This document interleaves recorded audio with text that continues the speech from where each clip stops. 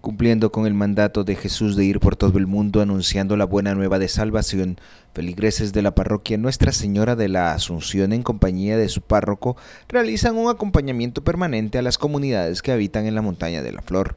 Recientemente visitaron esta zona para acompañar a estas comunidades, así lo manifiesta el padre Mauricio Mayorga.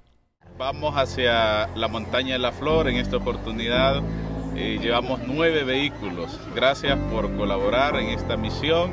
Gracias a todos los que han apoyado con víveres, con ropa y los que se disponen también al encuentro con nuestros hermanos. Para esta visita asistieron representantes de los diversos sectores de la comunidad parroquial, que se unen al llamado de salir a anunciar a Cristo a los más necesitados.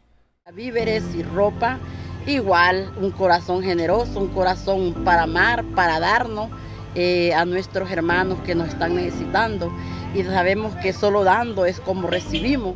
Es una misión tan bonita que solo el que la vive la disfruta y y como le digo pues es bello esto venir a compartir con nuestros hermanos acá a estos lugares tan lejanos. En el lugar entregaron víveres, ropa, pero sobre todo compartieron la fe con estos hermanos y realmente que nos conmueven, ¿verdad? Y que cada granito que nosotros traemos, pues lo damos con mucho cariño y mucho amor para toda esta gente.